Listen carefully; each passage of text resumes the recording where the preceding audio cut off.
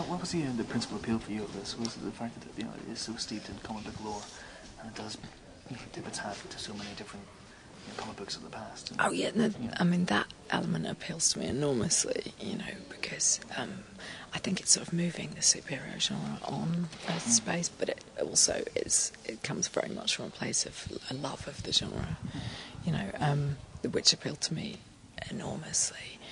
You know, it's uh, you know it's referencing the past, but it's also very much moving into the future, which I like, but without you know without destroying trying to destroy what's gone before, which I think is often you know when you're moving a genre f- into a new area, it's often about dismissing everything that's been before. And this couldn't be more different. You know, this is very much coming from people who love comic books and superheroes. in terms of the, uh, the the no holds barred approach to the fans with the comic book and the movie, from you know read the script and uh, it, it doesn't hold back.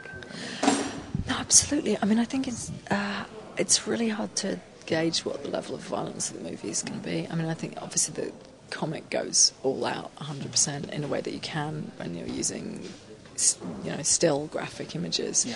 Um, but I, it's certainly, I don't think it was Matthew's intention to try and kind of shock in terms Sure. of pushing the boundaries of violence. But I mean, I think it's it's much more about the story. But I mean, I think I think we've been responsible in showing, you know, real consequences of violence, um, rather than it being, I, I guess the term is comic book violence. Weirdly, ironically, um, you know that you know there are real consequences when people get hurt in the movie. They get hurt as they do in real life, but I mean, I, I, there certainly hasn't been some kind of manic drive to make this as gory and much of a bloodbath as possible.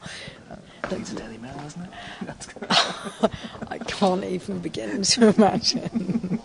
I think we'll be, yeah, no doubt we'll be held responsible for uh, the decline of British British society. But what can you do? this uh, from Stardust to this to the dead. I mean, do you, Yeah. yeah, how do you and Matthew work exactly as a team? He's very when he, when he, describes your partnership, he says basically you do all the dialogue, and he does the structure. Is it really? Um, yeah, Yes, that way.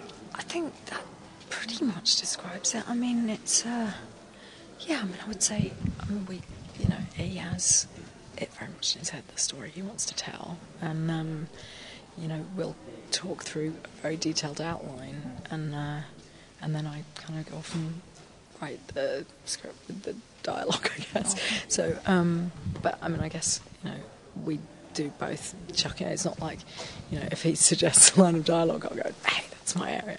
or, or if I say, um, you know, I think we should, yeah.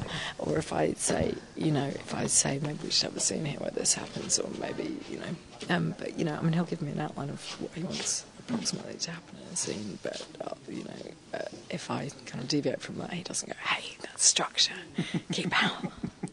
Um, it seems to just work pretty well, you know. Um, yeah, I mean, it, you know, Matthew's obviously, as the director, he's got, and he thinks very visually, and he's got the, you know, the movie in his head. But terms of what happens within that framework, I've got pretty free um, rein. So it's it's a lovely partnership for me as a writer. It's, on Stardust, I mean, you were saying that you thought, I'm paraphrasing here, obviously it was a couple of years ago, but okay. that you, you know, in a way that you, it's a bit of an adventure for you. But do you now feel this is this is it full time? You're a screenwriter. This is, you know, God, I don't know. I mean, I you know, I'm, I've always been someone who takes every day as it comes, really. Um, but I'm having a great time, and um, you know, working with Matthew is such a pleasure, and getting, you know, the fact that you know the reason why I'd always avoided screenwriting before is because I just couldn't deal with all the bullshit in the movie industry, and I'd seen so many of my friends go that way, you know, and just have a nightmare. And so I was much happier, you know, writing books and whatever else, and um, producing for TV and all the other stuff, which I do still do as well. But um, but this has been great because Matthew is incredible and he actually gets things done, and uh, it's just you know he's a joy to work with, and uh, you know as long as that goes on or other interesting projects go on, I'll keep screenwriting. And I mean, I, you know, in terms of a form to write in, I love it. I'm having a great time. I really enjoy, you know, writing in screenplay form, and you know, if it can continue, I'll be delighted.